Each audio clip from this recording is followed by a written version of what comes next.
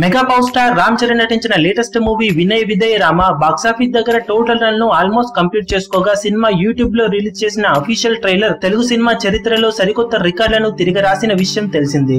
రీసెంట్గా సినిమా టాలీవుడ్ చరిత్రలో non Baahubali trailers రికార్డును తిరిగి రాసిన ఎన్టీఆర్ జైలవకుశ సినిమా ట్రైలర్ ఇరవై మూడు పాయింట్ తొమ్మిది మిలియన్ల రికార్డును క్రాస్ చేసి ఇరవై నాలుగు మిలియన్ల పైగా వ్యూస్ను సొంతం చేసుకుని సరికొత్త రికార్డును నమోదు చేసిన విషయం తెలిసింది. ఇక రీసెంట్గా సినిమా ట్రైలర్ మరో అద్భుతమైన రికార్డును నమోదు చేసి సరికొత్త బెంచ్ మార్క్ను సెట్ చేసింది.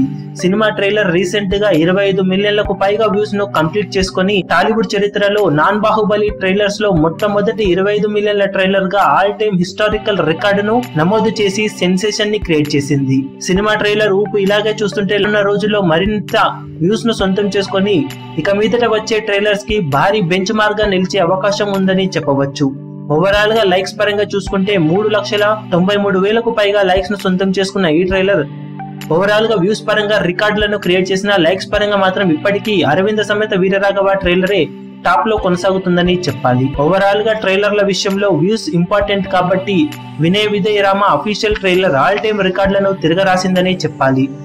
ఇప్పటికీ జోరు తగ్గకుండా సినిమా ట్రైలర్ కొనసాగిస్తున్న జోరు చూస్తుంటే లాంగ్ రన్లో మరిన్ని రికార్డులు నమోదవ్వడం ఖాయం. ఇక బాక్సాఫీస్ దగ్గర టోటల్ ప్రీ రిలీజ్ బిజినెస్ను అందుకోలేక సినిమా బాక్సాఫీస్ దగ్గర భారీ ఫ్లాప్గా మిగిలినప్పటికీ డిజాస్టర్ టాక్తో అద్భుతమైన వసూలను కురిపించిన సినిమాగా నిలిచి వినయ్ విజయ్ రామ చరిత్రకెక్కిన విషయం తెలిసిందే. ఈ వీడియో మీకు నచ్చినట్లయితే లైక్ చేయండి షేర్ చేయండి ఛానల్ను సబ్స్క్రైబ్ చేయడం మర్చిపోకండి. ఏ చిన్న అప్డేట్ను మిస్ అవ్వకూడదు అనుకుంటే బెల్ లేటెస్ట్ సినిమా అప్డేట్స్ కోసం బాక్సాఫీస్ కలెక్షన్స్ రిపోర్ట్స్ కోసం మా అఫీషియల్ యూట్యూబ్ ఛానల్ను సబ్స్క్రైబ్ చేసుకోండి. ఏ చిన్న అప్డేట్ను మిస్ అవ్వకూడదు అనుకుంటే బెల్ ఐకాన్ని ప్రెస్ చేయండి.